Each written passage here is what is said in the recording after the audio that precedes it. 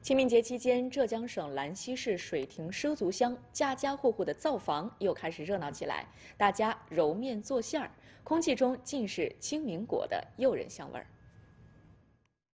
清明正是艾叶生长的大好时节。一大早，兰溪市水亭畲族乡的吴彩虹和妹妹挎着竹篮，冒着细雨，采摘一天中最新鲜的艾叶，为接下来这道传统美食清明果做好准备。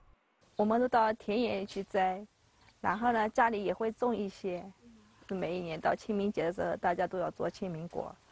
新鲜的艾草洗净，焯水捣成汁，再与米粉搅拌，揉成软度合适的青面团。一股柔和的艾草与米粉的清香瞬间弥漫开来。吴彩虹告诉记者，清明果制作并不难，将事先做好的青面团捏成一个小碗状，放入事先准备好的馅料，揉成小团，再把团子放入果印，用手掌轻轻按压，一个个图案不同的清明果便制作完成了。清明果我们这边也叫做赤脚果。是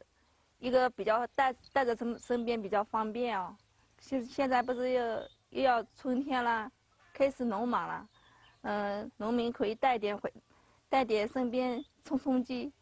清明果制作完成还得上锅蒸，传统的柴火灶，大火蒸上十几分钟后，打开蒸笼，一个个清明果玲珑剔透，软糯清香，趁热吃才能品尝到清明果的精髓，每一口都是春天的味道。咸的馅有笋啊、萝萝卜丝啊、豆干啊这些东西配合，糖皮的有猪油，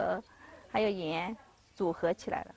虽然现在清明果的内馅花样越来越多，但麝香人所熟知的清明果还是传统的糖皮猪油馅、青皮白糖芝麻馅、白皮生菜笋肉馅，每一种口味都是麝香人清明时节的舌尖记忆。